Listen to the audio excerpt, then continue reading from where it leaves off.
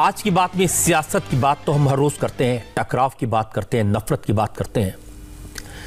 लेकिन आज एक खास बात आपसे करना चाहता हूँ। दोस्तों जय हिंद जय Bharat. Welcome to you Amrit pass channel आइए सुनते हैं आयशा की दिल दहलाने वाली घटना पर। ओवैसी की पहली बार देश पर एक शानदार स्पीच और साथ में सुनेंगे ज़फ़र सरेश वाला Baba Ramdev art of living के रविशंकर जी को। थैंक यू आज ये बात है एक ऐसे नासूर की जिसने हमारे समाज को भीतर तक चीर कर रख दिया है।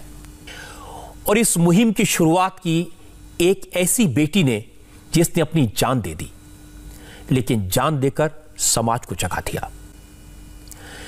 इस बात को सबसे इफ़ेक्टिव तरीके से सामने रखा असदुद्दीन ओवैसी ने। हम कई बार उनके बारे में बात करते हैं कि वो हिंदू और मुसलमान की बात करते हैं। ओवैसी साहब ने मुसलमानों के जमीर को ललकारा।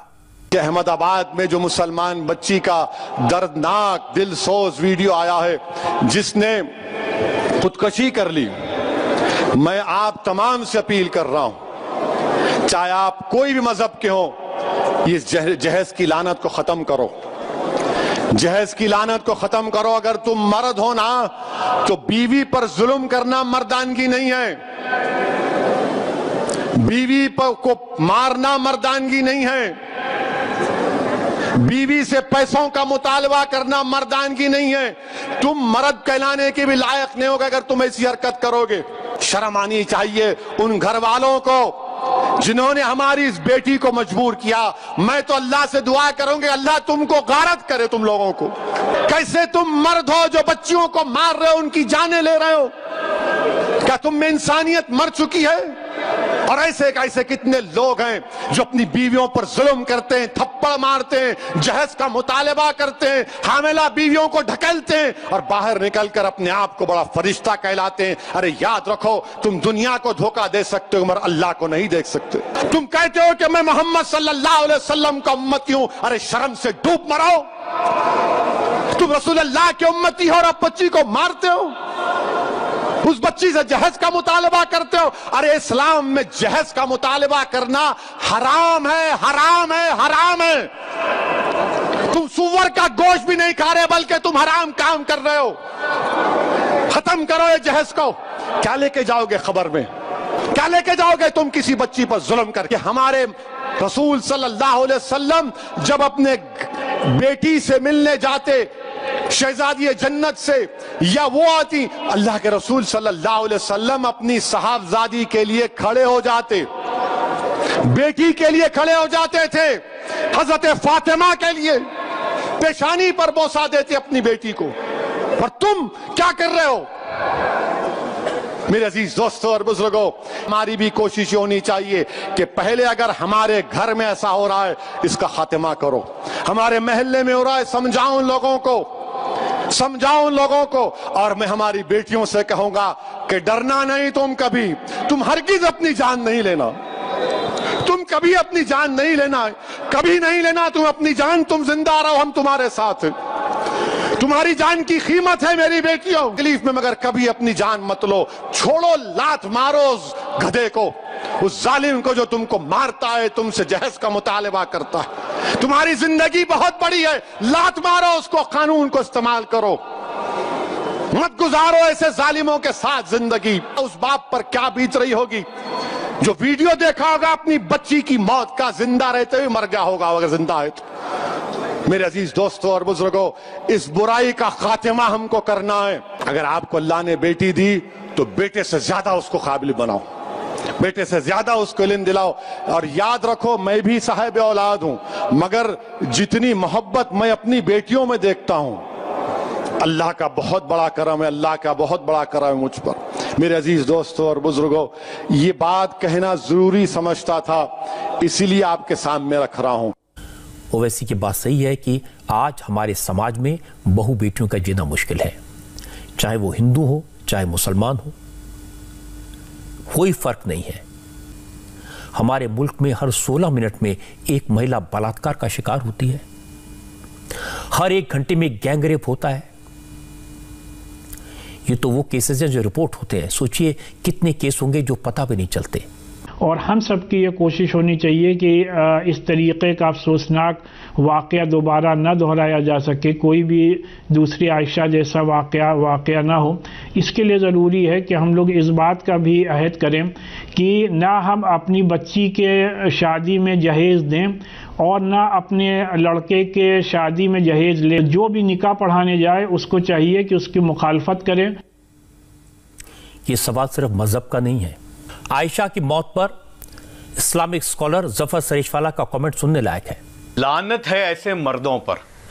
यानी जो मर्द औरत पर जुल्म करता है, जो मर्द औरत पर हाथ उठाता है, जो मर्द औरत से पैसा तलब करता है, जो मर्द औरत से दहेज लेता है, वो मर्द नहीं है, नामर्द है नामर्द है। यानी जब ये मर्द ही नहीं है तो फिर वो काय का मुसलमान और काय का हिंदू? यानी ऐसे नामर्द हमारे समाज में घूम रहे हैं, अभी भी, कि लोग नमाज़ पढ़ने को दीन समझते हैं, रोजा रखने को दीन समझते हैं, हज में जाने को दीन समझते हैं, उम्रे पे उम्रा करते हैं, लेकिन औरत के साथ जो घर में आई है उसको इज़्ज़त की ज़िंदगी देना, उसकी डिग्निटी को मेंटेन करना, उसको ये लोग दीन नहीं समझते। जालिम पति उससे कहता था, मर जाओ, आखिरी वीडियो भेज देना, तभी यकीन करूँगा कि तू मर गई। जरा सोचिए, कितना जालिम रहा होगा वो शख्स। आयशा ने अपनी जान देकर सोते हुए समाज को जगा दिया। हेलो, अस्सलाम वालेकुम मेरा नाम है आयशा आरिफ खान। और मैं जो भी कुछ करने जा रही हूँ, अपनी मर्ज़ी से करना चाहती हूँ। इस पर किसी का दौर या दबाव नहीं है। अब बस क्या कहें। ये समझ लीजिए खुदा की ज़िंदगी इतनी ही होती है और मुझे इतनी ही ज़िंदगी बहुत सुकून वाली मिली। और डियर डैड यार, कब तक लड़ेंगे अपनों से? गैस विड्रॉल कर दो। नहीं करना। ये आयशा लड़ाई के लिए नहीं बनी। प्यार करते आरिफ से। उसे परेशान थोड़ी ना करेंगे। अगर उसे आज़ादी चाहिए, ठीक है, वो आज़ाद रहे। चलो, अपनी ज़िंदगी तो यहीं तक है। मैं खुश हूँ कि मैं अल्लाह से मिलूँगी। उन्हें कहूँगी कि मेरे से गलती कहाँ रह गई? माँ बाप बहुत अच्छे मिले, दोस्त भी बहुत अच्छे मिले बस शायद कहीं कमी रह गई मुझमें या शायद तकदीर में। मैं खुश हूँ। सुकून से जाना चाहती हूँ, अल्लाह से दुआ करती हूँ कि अब दोबारा इंसानों की शक्ल ना दिखाए। एक चीज़ ज़रूर सीख रही हूँ। मोहब्बत करनी है तो दो तरफा करो। एक तरफा में कुछ हासिल नहीं। चलो। कुछ मोहब्बत तो निकाह के बाद भी अधूरी रहती है। ये प्यारी सी नदी। प्रे करते कि ये मुझे अपने आप में संभाल। है और मेरे पीठ पीछे जो भी हो प्लीज़ ज़्यादा बखेड़ा मत करना। मैं हवाओं की तरह बस बहना चाहती हूँ और बहते रहना चाहती हूँ। इसी के लिए नहीं रुकना। खुश हूँ आज के दिन कि मुझे जो सवाल के जवाब चाहिए थे, वो मिल गए। और मुझे जिसको जो बताना था सच्चाई, वो बता चुकी बस काफ़ी थैंक यू और मुझे दुआ में याद करना। क्या पता जन्नत मिले या नहीं मिले। चलो, अलविदा। ये आयशा का आखिरी वीडियो है। तेईस साल की आयशा ने अहमदाबाद में साबरमती नदी में कूद कर अपनी ज़िंदगी खत्म कर दी। आरिफ को वीडियो भेजने के बाद आयशा ने अपने पापा को फ़ोन किया। माँ से बात की और उन्हें साफ़ साफ़ बताया वो अब उनसे बहुत दूर जा रही है कभी वापस नहीं आएगी वो नदी में कूदकर जान देने जा रही है। मैं जा रहा हूँ कल जालो। मेरे को खाली मेरे को है ले मेरी बात सुन ले बेटा इतना तूने सुना ना मेरा?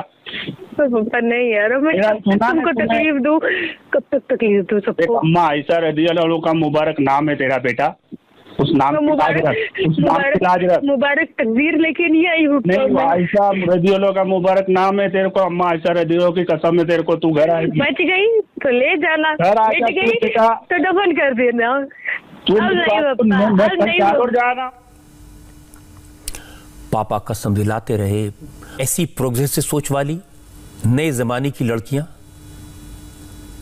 आयशा की बैकग्राउंड देखिए एमए फाइनल ईयर की स्टूडेंट थी। उसने मजहबी तालीम ली थी, कानून जानती थी, उससे पता था उसके ससुराल वाले जो कर रहे हैं वो जुर्म है, और उस जुर्म में उन्हें सजा हो सकती है। लेकिन वो एक अच्छी इंसान थी। आयशा को यह पता लगा जिस शख्स से वो मोहब्बत करती थी, जिससे उसने निकाह किया, अब उसका फिर किसी और के साथ हो गया है।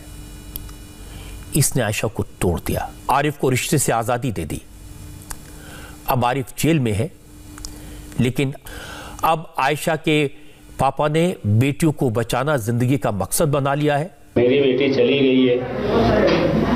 उस जालिम को तो फांसी भी देंगे तो नहीं आएगी मेरी बेटी। लेकिन दूसरी बेटियाँ हैं जो हिंदू है, मुसलमान है, सिख है, ईसाई है। अरे यार, इंसान है हम सबसे पहले।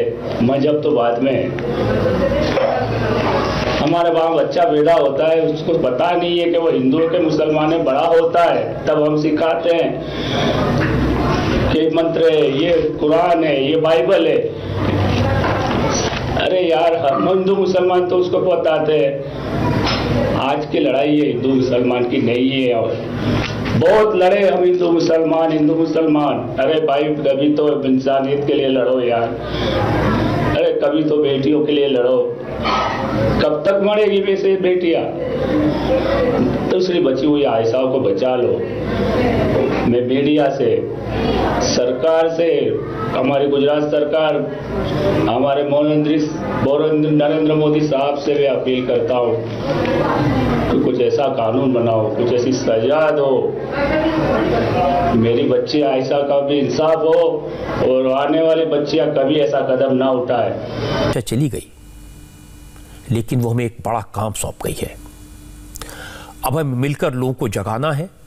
इसीलिए आज मैंने मौलानों के साथ साथ साधु संतों से भी बात की।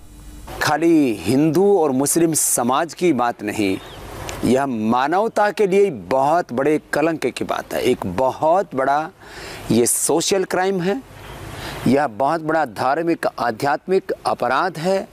और उस खुदा भगवान अल्लाह परमात्मा जिस जो भी हम नाम बोले उसकी निगाह में भी एक बहुत बड़ा गुनाह है। सार्वजनिक तौर पर ऐसा अभियान चलना चाहिए। हिंदू, मुस्लिम समाज सबसे समान रूप से आह्वान करता हूँ कि आओ सब मिलकर के एक दहेज मुक्त भारत बनाए।